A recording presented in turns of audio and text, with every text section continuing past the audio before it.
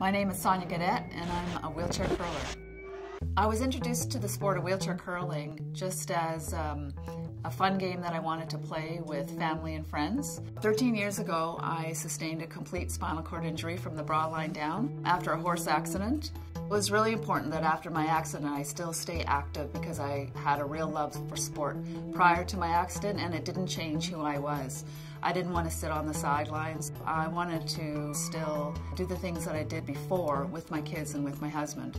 Because I'm paralyzed from the bra line down, I don't have any core muscles anymore, so I don't have the ability to um, engage those muscles for balance or for power. So I created this balance post in order to keep my position on the team because I'm competing for spots on my team against people who do have full control of a lot more muscle than I do. I was needing to throw bigger weight for hit shots. I call it my balance post and basically it creates a fake core for me because now I can control my balance and my power with this post.